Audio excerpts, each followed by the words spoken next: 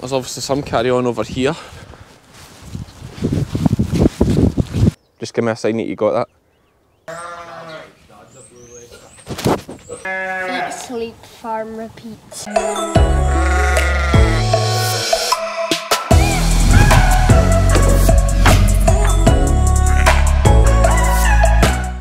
Good morning, sheep fans. This is uh, oh Cammy's your name. Sheep's the game. Must be tired this morning. This is uh, day five of the lambing vlogs that I'm trying to do. Hopefully, I've been keeping up so far. I've not got to the editing stage yet, so hopefully, I'm managing to keep up. It's uh, half five in the morning. It's zero degrees. A frosty night like this isn't really an issue for young lambs. It's more when you get a lot of rain and wind. That's when lambs get a chill. But it's nice, still, really like a lovely morning, kind of morning I really like. And any lambs born last night should be fine, but we're about to find out. Okay, so we're at the field. We've got Meg. Had to go and pick her, her up from my mum's. How do I do this with this bag? What a beautiful morning. Got the head torch on just in case I need a closer look at anyone's back end. See there's a ewe licking a lamb, so that must be a fresh one this morning. We'll see it in a second. She's away up at the back there. Good set of twins, that was the first set born in here. Absolute nailers last, well done, look the size of them, full of milk. Tremendous. There's obviously some carry on over here. These two in a pile. Sheep love to do this, I'm guessing that the first thoughts is the white faced sheep here has lambed, and the other one's stealing, but I've not actually seen their back ends. Look at this beautiful fresh pair. Although I would expect a white faced sheep to have white faced lambs. No, the white faced sheep hasn't lambed. She's actually achieved it. I don't know why she's here. You've lamb last. Yep. That makes more sense when you look at the lambs. Good meal you. Look at that man. Love that. She's actually one. She's a homebred sheep. One crop. So one crop essentially means she'll be three years old this spring. Oh man, she's just outside all the time. Hey, that's enough. She's keen now. Now this is quite off the sign. I'm doing wee side steps here. Just tire her out a bit. This is quite often a sign that um, she's going to lamb very soon, so I'd expect her to lamb today. But it's not always the case. But this is what we call like pinching or stealing, and it's when their mothering instincts get so strong that they just want to mother a lamb, which is absolutely amazing. Like nature's just incredible. Salut mec Salut mec Had to shout Meg over. She comes. Probably scare the rest of them eating their dinner, but I, I need a hand here. Will you back off? Hey. Hey. I can do this all day. I need to get a little pen in here so I can deal with things like this. Salut Meg. Salut Meg. There you go. Salut Meg. Salut Meg. That's good. Away over there. Right, lie down. Lie down. Good dog. Right. That might distract her for a bit. Right, lass. Uh, I meant to say to you, uh, fantastic lambs, great work, and it's great to see. In for a already, like, ah. Just love this, like, things like this, like, just, oh, I had to put my light off. That's just, I, I'm going to say this all lambing time, but like, just things like this, on a beautiful morning like this, outside, on the grass, two good sized lambs spat out. They're already up on their feet trying to get a sook. It's just, ah, just beautiful.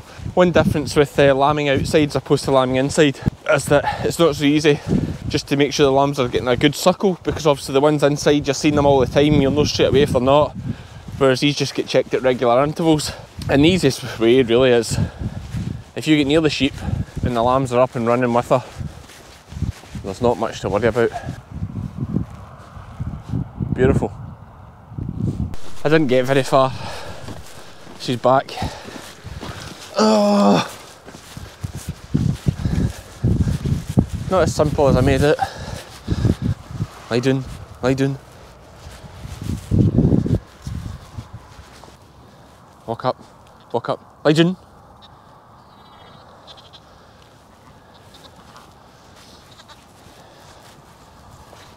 Come by.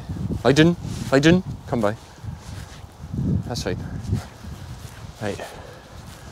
I'm thinking either walk them away down there I'll see if we can just walk them away a wee bit quietly. Lie down, Lily Meg, Lily Meg, Lily Meg, Lily Meg. Right, I'm not saying that's going to work. She might come back and cause a nuisance. But we'll be back past here in about an hour, so we'll deal with it then. Maybe not the best way to deal with it.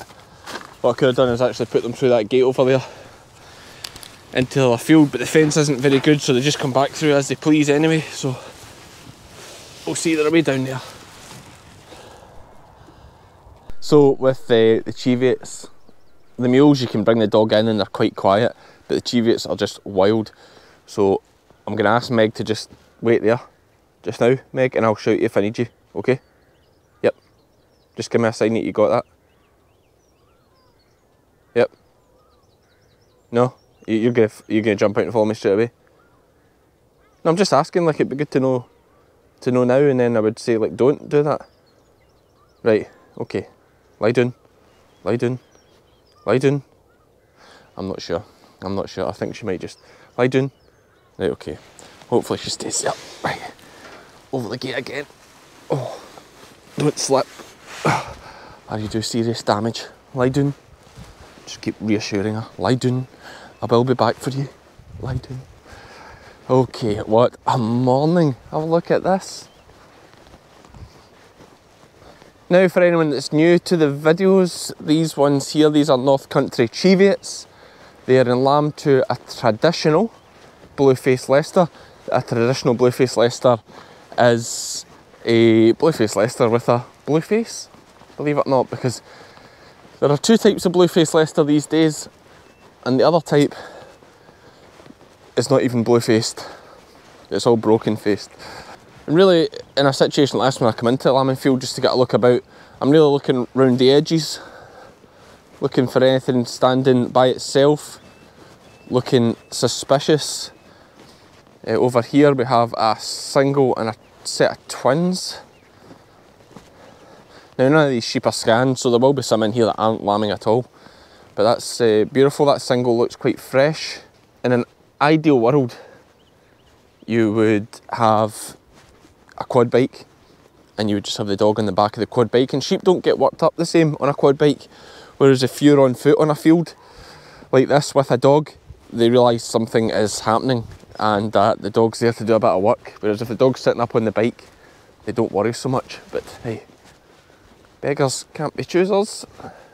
As always, thanks to Crystalyx for supporting my lambing videos. I absolutely trashed this bucket trying to throw it over the bun and failing miserably. And the bun's down a bit now, I think I could jump it a lot easier now. It was quite embarrassing. Nothing lambing here, so let's go and see how Lizzie and Murray are getting on at the shed. Okay, so a few things happened yesterday. I missed a day, as I said, because I was away crutching. I got away for one day and we've got this sheep tied up, and the next one's fantastic photo, mate. I'll give him. I'll give Murray that. We had to Google it, but we, we got it on. Yeah, no, I actually like this halter thing. Um, I, I was sceptical about letting her off, but um. But she's taking them. Well, I think she's letting them both drink. What is the, what is the background here, Lizzie? Please tell I us. I like pretty much 100% both her lambs.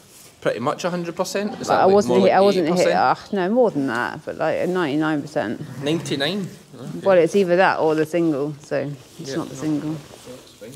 But she seems to not like one, so not silly. So we had to tie her up. So she didn't like one of her lambs? Oh, it's a hone lamb. Yep. So we've tied her up and um, Now she likes them both? I let her off to eat this morning Mm-hmm. because that's fair. Yep. And I haven't tied her back up, and at the moment she seems like she's calmed down a bit. Yeah, She does hasn't she- eaten her food either. does she she was an eater. She was eating yesterday. So she ate She- yesterday? I think she's a little bit pissed off that she got tied up all night. Okay. She's revolting. Now, just people are going to ask, you know, why why are you tying the sheep up? So uh, if you just stand back a wee bit from the light there, just so I've got a look at you. I don't explain like being yourself. on the camera. No, that's okay. Uh, could you just tell us why you tied her up? Oh, I had to stop her um, butting and being nasty to her lambs. So she was butting her lamb? Oh, that means they can't drink, and then if they can't drink, they won't survive. Yeah, that's correct. And what, how does tying them up help? I just stopped her getting her head round to them, like, Yes, but how, how does she all of a sudden, after being tied up, take a lamb? oh, because the, the milk goes through the lamb and it smells like her. And then um, she likes it. Is that the reason? I think so. No? Makes sense to me. I don't know. I just, What else do you? What else would you think of it? Oh, I don't. I honestly don't know. She just gets used to the lamb Nah, suckling. yeah, nah, because she she let in one suckle. Yeah, She didn't like the other one, did she? yeah. Maybe she didn't like the feel of its tongue, but now she's used to it. okay, so we've had some breakfast. The lambs that were rung are all much better now. They're all quite happy, as I say. Five, ten minutes, and they're as good as new. So we're going to get them on the trailer, get them out to the grass. Thought I'd better introduce you to young Murray here. Let me just try using my microphone like a wee interview thing. So, uh, so Murray, he's going to be in the video a bit. He's only here for a week because then he's got uh, other jobs to do. Is that right? Aye. What are you doing? Working with James? Yeah.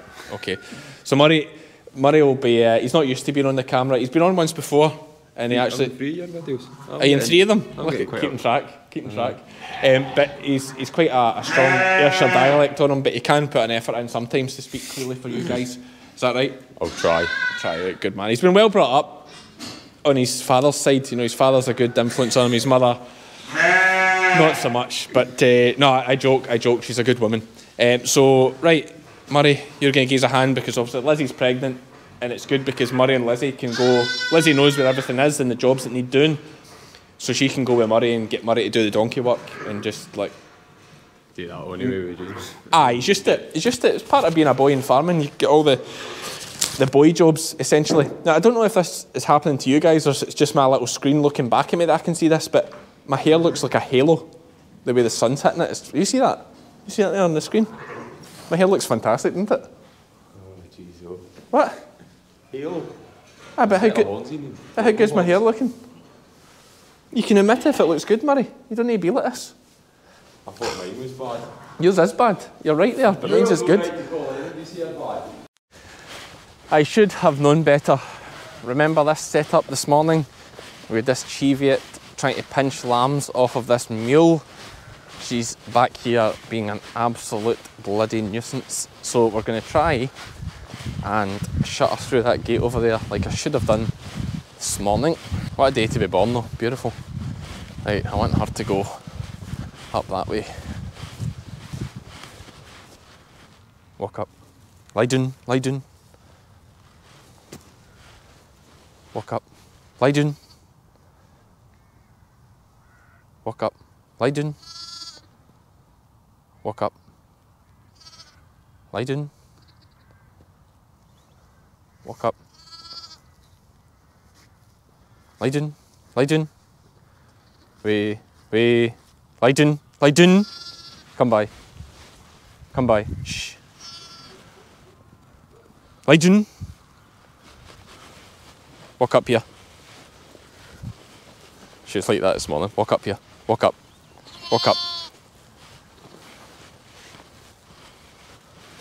Down. Walk up. Lie down. Come by. Down. Come by. Down. Come by. Way. Lie down. Lie down. Walk up. Down. Walk up. Down. Come by. Lie down.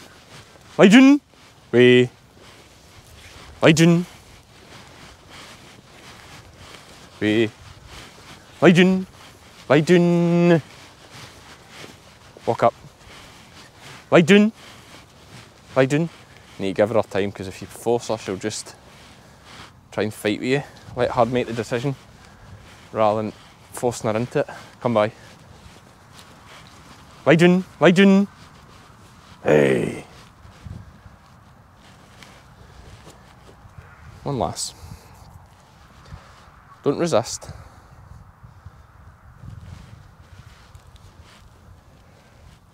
That's you.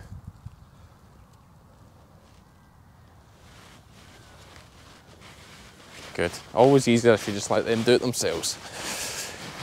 Good dog, Meg.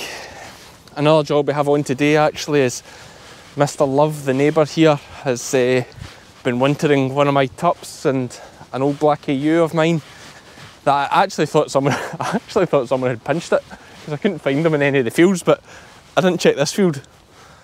Or maybe I drove past and never saw it, but he phoned me the other day. Well, I had, I had, to be fair, I hadn't even noticed them until he phoned me and said they were there, and then looked over and say, "Oh yeah, so they are." So, right, we'll shut her out of here. I don't know if that will help. We'll just go this way, Murray. I don't know if it'll help shutting her down there because she can actually get through the fence just further down, but it takes her away a wee bit. And once the lambs get a bit older and wiser, you know, they only need a day really. They know who mum is, and that won't be an issue. But when they're newborn like that, they'll really suckle on anything that's nearby. So we've split her off, and hopefully she'll just stand at the fence here and try and get to them. That way she can't actually get through. Be very clever of her if we come back and she's back in there with them. Fair play, might just give her one then. Nah, just kidding. Right, uh, tell me your name there, uh, sheep farmer. Robbie. Robbie. Uh, is, it, is this your place, Robbie? Well, we live here. Yeah. Yeah, so uh, it's your farm, is that right? Yeah. Is it quite good being a big time farmer? Yeah. Yeah. What's uh, some of the best things about being a farmer? Well, just my favourite part is, well, being kind of, well, doing farm stuff, really. Yeah. Yeah. Some lad, aye, he's got a right attitude, this boy grafter. Rolls those uh, those hay bales there, he'll just roll them end over end. Takes some ages, but it's the graft, that's the main thing. And uh, Robbie, we we're just talking there off camera about this week's lolly. Um, it's quite a, a thing here in Scotland today, it's about uh, 9 degrees, so we're all really feeling the heat. Um, it's one of the perks of being Scottish, as soon as there's a little bit of sun, you just feel like summer. Taps off, we would say here, which means tops off. Um, so, are you asking me if I want a nice lolly, Robbie? Yeah. Yep. Are you going to ask me? Yeah. Right. W- would you like a ice lolly? Good man, yes, I'd love a nice lolly. You're some man. Legend, that boy, I tell you, legend. It's his birthday soon, actually. Birthday on Tuesday. Exciting.